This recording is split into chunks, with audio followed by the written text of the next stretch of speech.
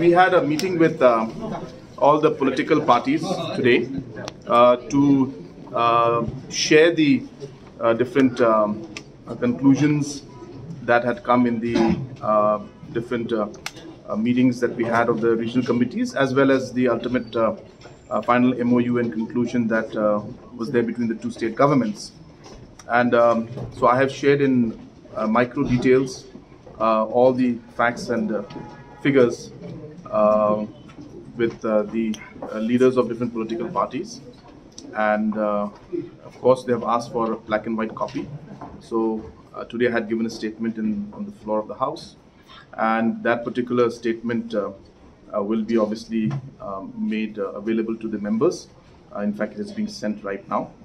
And by tomorrow, I think press also must will be receiving it within a few next uh, few minutes or a maximum a few hours.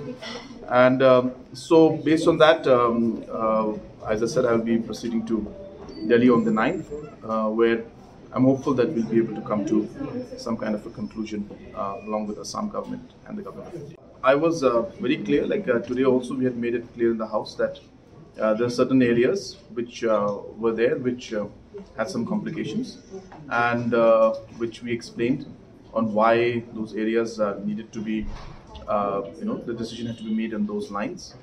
And after the explanation was given, they have understood more or less what the reasons were.